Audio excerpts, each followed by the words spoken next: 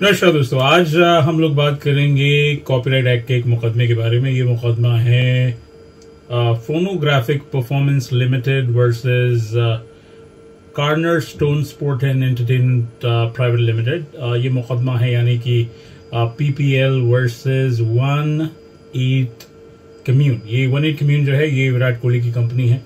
सो Delhi high court के सामने मुकदमा था कि दिल्ली हाई कोर्ट के सामने ये बात रखी गई।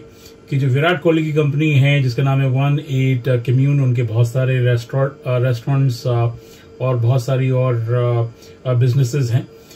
जिसमें से स्पोर्ट्स से रिलेटेड शोरूम्स एक्सेट्रा का भी बिज़नेस है। तो वहाँ पर बात आई थी कि पीपीएल के द्वारा जो एक राइट है म्यूज़िक का, उसका जो है वहाँ पर प्ले किया जा रहा था without licensing Delhi high court ने इस मुकदमे में ये जो विराट कोहली की कंपनी है, वन एट कम्यून को आदेश दिया कि वो कोर्ट के अगले आदेश तक इनको जो है इस्तेमाल नहीं कर सकते हैं। यानी कि पीपीएल द्वारा जो उनके अधिकार क्षेत्र में, कॉपीराइट के क्षेत्र में जो उनके पास जिन गानों का या किसी म्यूज़िक का अधिकार है, उसका वो, उसको प्ले नहीं कर सकते हैं।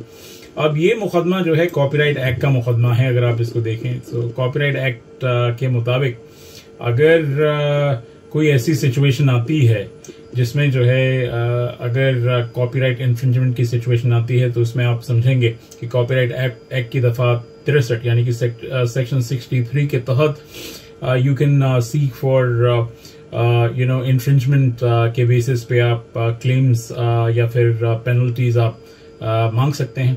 जहाँ तक क्रिमिनल पेनल्टीज की बात है तो उसमें तीन साल की सजा का प्रावधान है साथ साथ दो लाख रुपए के जुर्माने का भी प्रावधान है।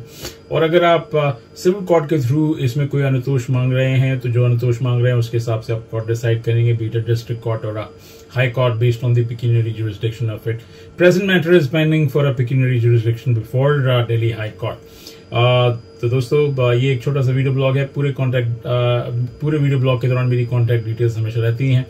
इस वीडियो ब्लॉग को देखने के लिए आपका बहुत बहुत धन्यवाद। नमस्कार दोस्तों।